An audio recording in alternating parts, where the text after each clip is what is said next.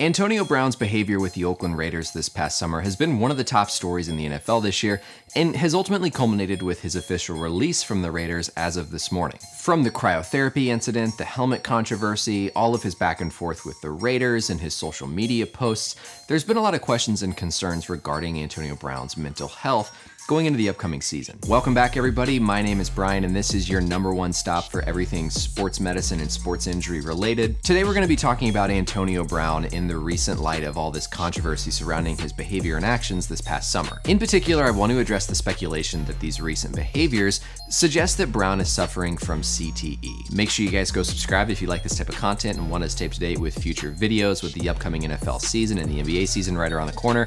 And let's get started. CTE is one of the hottest topics in the NFL and even in the sports medicine community as we try to get a better understanding about this disease, what causes it, how we can prevent it, and how we should be managing it. It's really easy for the media to jump all over anytime a player is exhibiting any possible erratic behavior or anything that could be suggestive of possible underlying CTE. But I wanted to in part make this video because I think we need to be really careful about throwing around the diagnosis of CTE, especially in a situation like this. The three points I want to get across in this video are number one, if this does in fact represent manifestation of CTE, it would A, be extremely rare and a really odd presentation given his age and history, and B, would be impossible to actually prove and diagnose. The second is that because CTE is considered by many to be a progressive neurodegenerative condition, we should be extremely careful about suggesting that a current player has any sort of progressive disease that there's currently no treatment for. The third thing is whether or not this is CTE, which again, we have no way of diagnosing this in someone who's alive. Does it actually matter when it comes to trying to help someone displaying these types of symptoms? A very brief primer on what exactly CTE is. It stands for chronic traumatic encephalopathy. Chronic meaning it builds up over a long period of time. Traumatic because research has shown us there's a pretty good connection between repetitive brain trauma and developing these findings. And encephalopathy because of the general disturbance in the function of the brain that it can cause. The biggest thing to understand right away is that there is no way of diagnosing CTE in a living person. We don't have a blood test, we don't have an MRI or a scan that we can perform on someone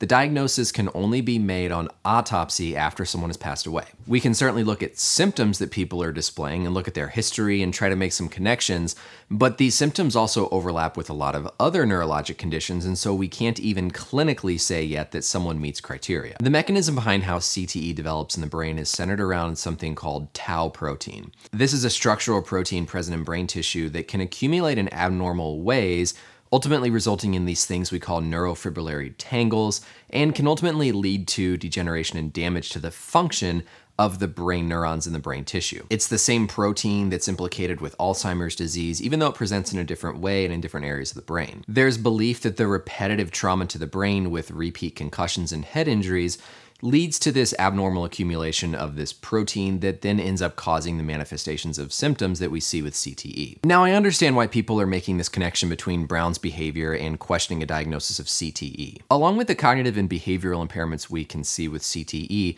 people can also exhibit erratic behavior, impulse control problems, and just general behavior control problems. So when we see the stuff that Brown has been doing in recent days, I can understand why people would make this judgment, especially because he's a football player and has suffered a lot of head injuries. A lot of people go back to a hit he sustained from Vontaze Burfict as kind of being the initial trigger point for when his behavioral patterns started to change. Connecting this back to CTE, researchers really don't know yet the exact threshold for the number of head injuries or how severe the head injuries need to be in order to lead to CTE. So we really don't have any research backing up the claim that this hit from Burfict was what could have triggered or started these behavioral changes with CTE. I mentioned in the beginning how this would be really atypical as a presentation for CTE. The research that does exist is pretty biased because a lot of the brains that have been donated are donated from individuals who specifically were exposed to repetitive brain trauma and exhibited some sort of behavioral or cognitive concerns before their death. This results in a lot of bias introduced in these studies where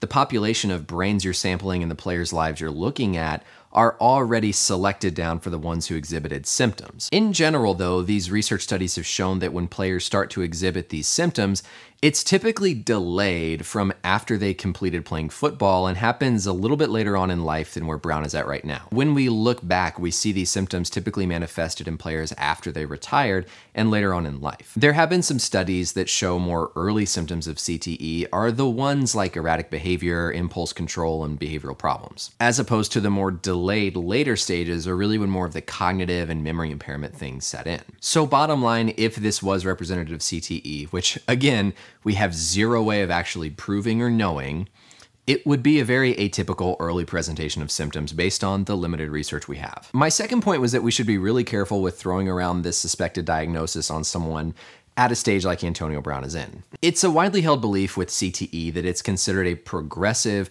neurodegenerative condition, meaning it will continue to get worse and it will result in progressive degeneration of brain tissue. There also is, of course, no treatment or way to reverse what structurally is going on in the brain of someone who has CTE. So if we don't have a known diagnostic test and we have no known way of stopping the progression or treating CTE, then I don't think we should be just casually throwing out or making these claims that Antonio Brown has this condition. It's just not proper to label someone with a condition that's progressive and degenerative when we have no way of actually for sure diagnosing it or establishing that criteria. The other important piece of that is if there is any underlying mental illness problems going on in someone, we have ways to treat and reverse those problems. Other mental illnesses like depression, anxiety, bipolar disorder aren't progressive neurodegenerative conditions. We have ways to stop them, we have ways to treat them and try to reverse those symptoms that work and that are successful. So, on one hand, you have a condition that can't be diagnosed and can't be treated, and on the other hand, you have a whole list of potential other mental illness problems that aren't progressive, that aren't degenerative, and can be treated and can be turned around. And so that leads us into this final question of does it really actually matter for his well being what exactly is technically going on in the brain? Now, I'd argue if we had a way of diagnosing someone with CTE and we knew that stopping the head injuries would delay the progression or slow the progression, then yeah, it would be really important to know because we would recommend someone, of course, stop playing professional football and stop the head injuries. But if you look at the symptoms going on with someone, regardless of if it's CTE or just a general mood or mental illness disorder, things need to be addressed and treated. Certainly, there's long term health implications of having something like CTE, but regardless, in your day to day life, in the moment, what's being manifested are those problems with behavior, are those problems with memory, and those are things that we can work on trying to control and treat. Bottom line though, the only person who knows exactly what's going on with Antonio Brown's mental well being is Antonio Brown and his personal physicians. Everything else is just pure speculation, and like I said, I think there's a lot of danger